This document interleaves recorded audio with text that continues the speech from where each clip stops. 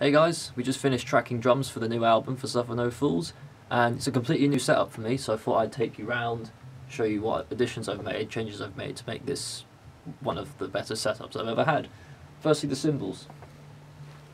So we've got the Meinl cymbal uh, China here, it's 14 inch, great for breakdowns, slower grooves, it cuts through really well. This is by far the best addition to this entire kit. This alone makes this setup better.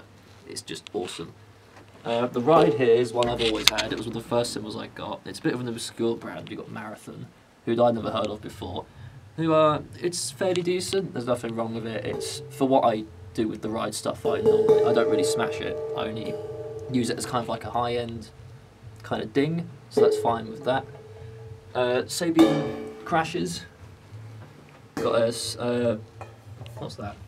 16 inch and a 18 inch crash. I like to have my cymbals kind of ordered from higher to lower. That's just how I prefer to do it. It just makes it, feels a bit more natural to me. So those up here, and same as the ride. Oh shit! same as the ride. Got marathon hi hat also came with my first kit, and there's nothing wrong with it. Sounds pretty decent. Um, Pearl export for the toms and the kick drum. Both the, the drums, the Sabian cymbals, and the Meinl were kindly given to me by a very good friend of mine, Simon Haller. You are a legend. Uh, they sound great, uh, particularly the kick drum. It's really punchy, great attack. Sounds great for metal, so I'm really, really happy with that.